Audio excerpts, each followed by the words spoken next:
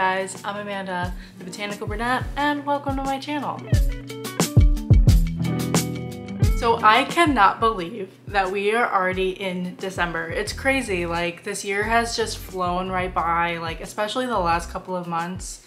I've just been so busy, like it's, it's just, it's been great, but it's been kind of hectic. I'm sure you guys are all feeling the same way, but I want to talk about the plants that I got for the month of November. So we're gearing down. Like these are the last couple of months that I can complete my wish list. So I know that I've only had a few plants left on my wish list. It's getting toward the end of the year and I still have a few left on there. Most of them are honorable mentions. I have one that's left which is um, an anthurium. And I don't know if I'm gonna be able to get one this year. That was kind of like my, you know, maybe Ecuagenera has one kind of thing. And yeah, they, they do, but I don't know, I'm just kind of like, I kind of go through phases with plants. Sometimes I'll really like them, sometimes I won't. And right now I'm like, do I really want that? Like, do I want to buy it? Or did I just see it and get influenced and just want to buy it? So I'm still thinking about that. That is the last plant on my like wish list wish list and then I have the honorable mentions which are just like a few plants here and there. So the honorable mentions are the ones that I have just been adding to throughout the whole year. So a lot of those plants, like some of them come and go. I've even taken some off of my big wish list, but I tried to keep it at 12 plants just to make sure that I got every, like a wish list plant every month. I know there was there was like a month or two that I didn't actually get any of my wish list plants. I just got like random plants that I saw and I liked. So Like, I'm just excited to show you guys the plants that I got for this month because this month I definitely checked off a major, major wish list plant. This is a plant that, other than the Monstera albo, this plant was another plant that I was like, I have to have that plant. It was like the beginning of my plant journey. Like I would say, I mean, really not the beginning of my plant journey, but really the beginning of all of this, botanical brunette and everything. I loved this plant and I've been in love with this plant for at least three years.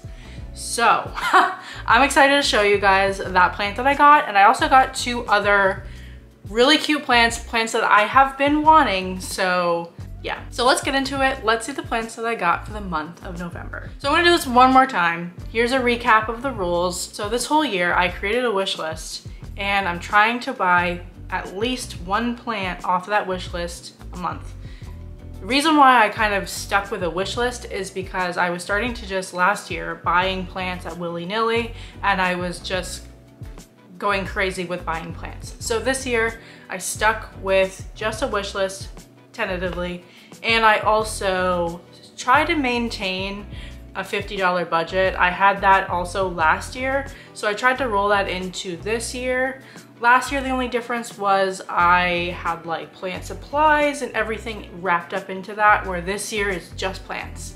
I figured the wishlist plants are probably gonna take up most of that $50 budget anyway, especially if they're rarer plants. So I just wanted to kind of just keep that separate. And then the first plant that you see is the first plant that I got in the month and then the last plant is the last plant. So let's get started. Let's see these plants because I'm so excited to show you guys. So the first two plants are plants that I literally got into the week before Thanksgiving and I'm like, oh my God, I don't have any plants for a plant haul. And I was also thinking, you know, with shipping and this and that, it's gonna take a couple of days to get here. I don't know what plant to get. I thought about getting, like I said, that anthurium from Ecuagenera, but I was like, oh, I just, I don't know. So like I did a couple months ago, out of desperation, I ran to Lowe's. When in doubt, I just go to plant nurseries or like hardware stores or department stores and I try to find that diamond in a rough or just like really any plant to show you guys for the month. I know I don't have to, but like I just want to and also it's fun to go plant shopping and buy a new plant. So the first plant that I got, or at least the first plant that I picked up is this Scindapsus. Oh my goodness, guys. She is a beauty. So I have a Silvery Ann, which is very similar to this one. Silvery Ann basically is just like kind of sil more silvery around the edges. You get a lot more silver variegation, where this one is more of like polka dotty. And I have been wanting one of these for a long time. I have sort of been getting better with scindapsuses. I was really bad in the beginning with that Silvery Ann. It was my struggle plant. It was definitely a plant that I got in the beginning of my whole plant collecting journey and I had no idea how to care for a scindapsus. They like, they always had those like taco leaves, like just all rolled up. And I just, I couldn't, I couldn't figure it out. I couldn't figure it out. I was just like, I don't even know. I wish I could give the person credit, but someone told me to bottom water all my scindapsuses. And that literally changed the entire game. Like that changed everything. So now I bottom water all of my scindapsuses because I, I just was having such a hard time with root rot with them. My Silvery Ann is still having issues with root rot. I don't really know what's going on with that plant. I just, I have no idea. I've kind of low-key given up on her, but I still love her, so uh, we're, we're trying our best. But this Scindapsus is just a dream. So I actually got this plant and it was in a different pot. It was in a terracotta pot. You know me with the white planters, I have to, you know, have everything, um, you know, the same. So I switched it out for a um, white pot super cute. I think it actually goes better with the Scindapsus. I just like to kind of like have that variegation like matching. I don't know, it's just a dumb thing that I do. But I mean, look at her. She's so pretty. So that terracotta pot, I'm actually going to gift to someone this year. So I'm going to put a plant that I'm not loving anymore into that pot. I'm gonna kind of jazz it up and I mean, it's a brand new pot and just kind of give that as a gift this year. Um, just because I need to kind of like weed out, no pun intended, some of my plants to kind of like make room for new ones. Um, I'm thinking that, you know, I'm still kind of deciding on what to do for my plant hauls for next year. So I'm not really sure, but I'm so happy to get this. This was like such a great find. Um, I literally walked by this plant like three times, like trying to like, I kept looking at it and I was like, I don't know. I was almost gonna get a Ficus Audrey, but I, I've been having issues with my, with my fiddly fig. Um, but you know, she's reviving for the 90th time. Like we, we go through roller coasters. It's just, it's crazy. But um, I was like, I'm not gonna get a ficus again. So I got a Scindapsus and I am so happy to get her. It's just so pretty and I just love her. So the second plant that I got at Lowe's was a plant that I was just like, you know, I grabbed the Scindapsus and I was like, okay, we're gonna, we're gonna get her. But I kind of like, she was only $20. So I was like, I want to get like another plant. Like I don't want to just spend $20 of my budget because like if I have an extra 30, why not spend it, right? so I was just kind of like shifting, sifting through like plants. I was just trying to find like just something.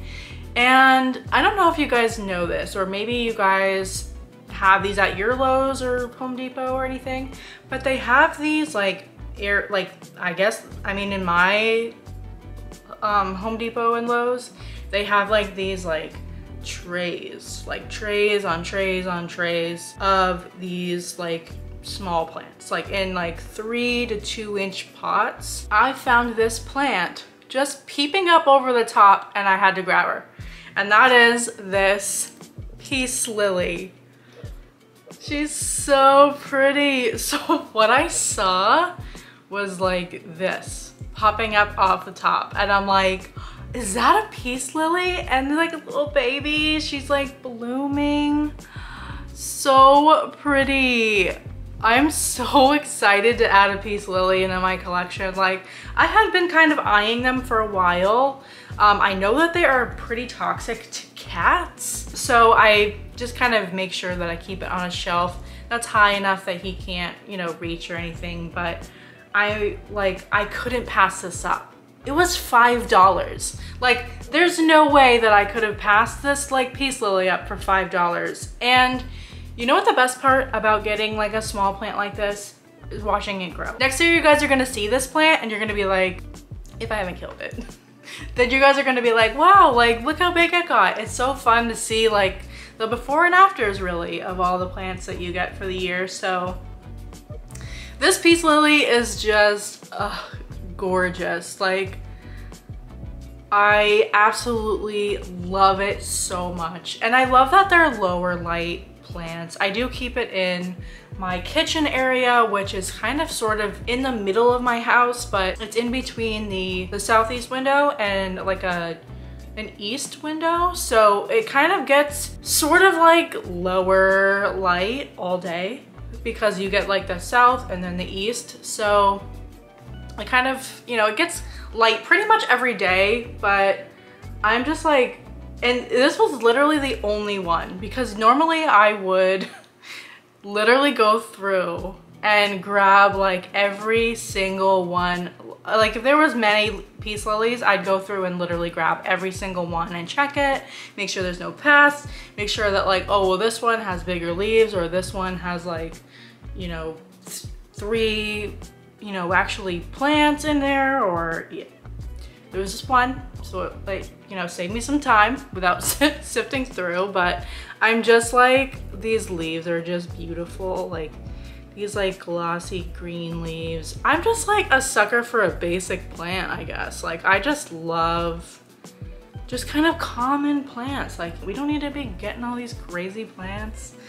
Common ones are just as nice. Now, although I just said that, I have a kind of a rarer plant that I have added to my collection. I'm so excited to show you guys. So I was, I just was kind of like browsing around on Etsy on Black Friday and I was like, okay, like I need to, you know, maybe I'll get another plant because I only spent $25 at Lowe's.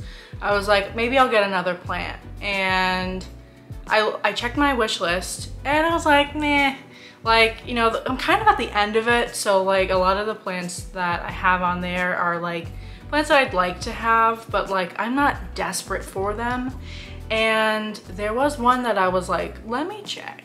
And that is a Philodendron Rio. Look at this plant. Guys, I can't even describe how I felt when I opened the package of this plant. Like, look at this weird long leaf. Like, it's fun. I love this plant so much. I've been wanting a Philodendron Rio forever. I mean, you guys know my love for my a silver stripe slash cream splash, whatever that is. I think that that has now downranked in my love. I think that this is now at the top because how could you not? Like, look how beautiful that variegation is. I cannot get enough of it. I'm literally like, so I keep this in a like hanging planter um, and I literally am sitting on my couch on the other side of the room staring at it. I'll walk over even at like nine o'clock at night and just look at the leaves because it's just so pretty. And when I when I bought it, I bought it off of a girl on Etsy. Actually, she's out in Tampa. I'll link her below so you can check her out. But I was like, you know, it's gonna be a whatever plant. There's been times where I bought plants on Etsy and they've been kind of like meh. Like, you know, like, oh cool, like I got this plant, but you know, they've been, they, they're not like blowing me away. This one, I literally left a review and I was just like, buy all of these. Like I almost want to buy another one to fill it out because it's just so pretty. Now, it actually came, so these two little like aerial roots are actually rooted in the soil. So I thought to kind of cut this and since it's already rooted and put it in the pot kind of together um, I probably will do that. I actually was just waiting to show you guys what it looked like when I got it, minus the fact that I planted it in a planter, um, which I actually just got this planter too.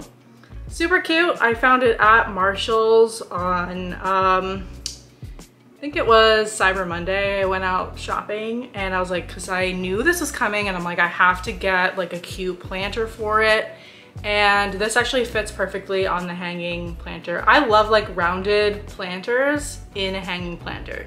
They're just so pretty. So, and I actually got this for $4. Like it was insane. Like, cause Michael's and like, you know, TJ Maxx and all that stuff, they are all kind of getting rid of their spring and like planty stuff. So you know, it's a great time to go buy stuff if you can find it. It's really hard to find it because they don't really have it in stock really anymore. But, I mean, I don't even know what else to say. I don't even know what else to say, guys. It is just so pretty and I'm just loving it. Now, I did notice, because I was like, what is the difference between like the Rio minus the fact that it's like more of a white variegation?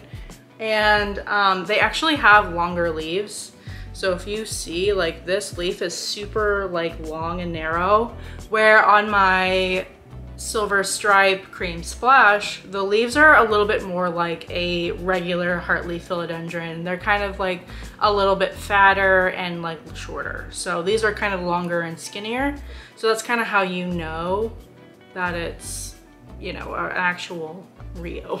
That is the last plant that I got for the month of November with a bang. The other two plants weren't on my wish list.